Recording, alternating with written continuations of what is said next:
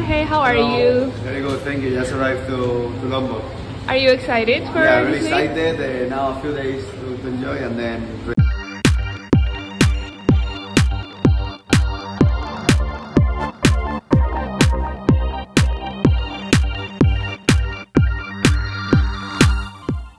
Pembalap MotoGP Mandalika kagum melihat aksi ahli kunci yang mereka temui di saat jalan-jalan untuk menikmati liburan sebelum balapan.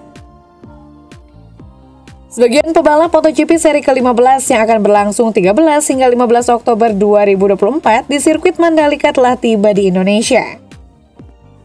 Kabar kedatangan para pebalap di Indonesia itu terpantau melalui akun Instagram pribadi para pebalap. Salah satunya adalah pebalap MotoGP dari Pramac Racing, Jorge Martin. Lihat dalam Instagram pribadinya, dia sudah berada di Mandalika. Dalam unggahan Instagram milik pabrikan Pramac Racing, Jorge Martin juga terlihat sedang berada di Bandara Soekarno-Hatta, Jakarta, sambil menghadap laptop dengan bergambarkan sirkuit Mandalika. Setibanya di Bandara Mandalika Lombok, Jorge Martin langsung disambut beberapa media. Direktur Utama MGPA Priyandi Satria membenarkan ada beberapa rider yang telah berada di Indonesia. Kami dapat informasi dari media sosial. Pesan WhatsApp adalah beberapa rider sudah di Indonesia, sedang menikmati keindahan alam Indonesia. Kata Andi, sapaan akrab direktur, ditemui di sirkuit Mandalika Sabtu 7 Oktober 2023. Menurut Andi, kedatangan para pebalap tidak seperti tahun 2022 saat masih pandemi COVID-19. Saat itu para pebalap datang bersamaan, namun tahun ini para rider dibebaskan kapan saja untuk datang. Jadi kami hanya menyediakan visa, soal kedatangan tidak ada kewajiban untuk melaporkan ke kami MGPA. Tapi yang pasti mereka akan datang untuk balapan, kata Andi. Rider Moto2 Alonso Lopez yang dari MotoGP Jepang langsung berangkat ke Indonesia. Nampaknya juga sedang menikmati indahnya pantai di Bali. Mudiknya dia dan temannya kehilangan kunci kontak motor yang disewanya. Lantas mereka langsung memanggil ahli kunci di sekitar lokasi tempat dia sedang jalan-jalan bersama temannya. Alangkah terkejut dan kagum para rider MotoGP itu melihat aksi tukang kunci yang begitu cekatan dan bisa membuatkan mereka kunci cadangan agar motor yang mereka kendarai bisa dipakai kembali.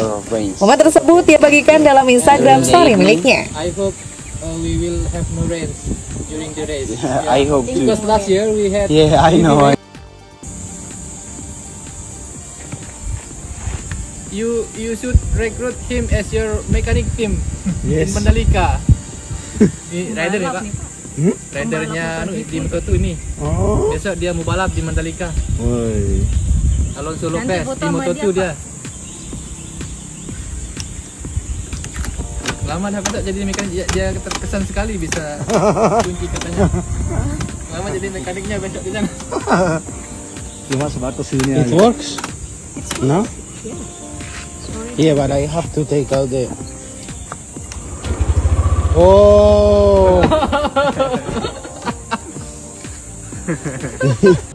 Menurut info dari MGPA, selain berlomba dalam Pertamina Mandalika Grand Prix of Indonesia 2023, para pebalap juga akan melakukan penanaman koral di pantai Kuta Mandalika.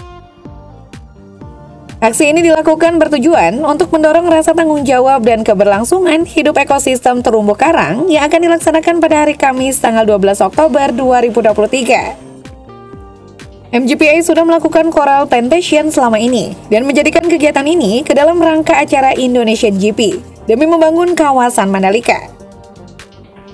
Itulah beberapa informasi yang dapat kami sampaikan hari ini. Untuk update berita selanjutnya, ikuti terus channel ini dengan cara subscribe dan aktifkan notifikasi loncengnya.